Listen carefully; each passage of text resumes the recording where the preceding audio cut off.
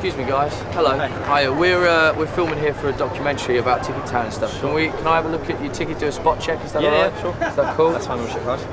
How long have you had this? I've had this one since this year. It's been like a few weeks. See, this looks like one that you get from touts. It hasn't got the official logos on or anything like that.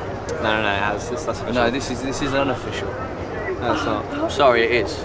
Sometimes that happens, and yeah. Yeah. So sorry about that, mate. If you're No going to buy from a, do you know it's illegal to buy from a Yeah, tout? yeah, don't yeah, you? of course. You know that. Yeah. Well, there's police all around. We can we could get. If It's you not, buy, it's not, it's well, it official. is because that's why I put it up. It really is. Definitely official. Yeah, yeah, yeah. Okay, look. All right, mate. All right, fine. I believe you. If, it's, if you're saying it's official, What's the Yeah. Have a look in your pocket.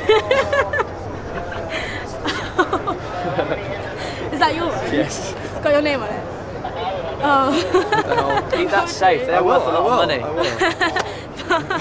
Bye.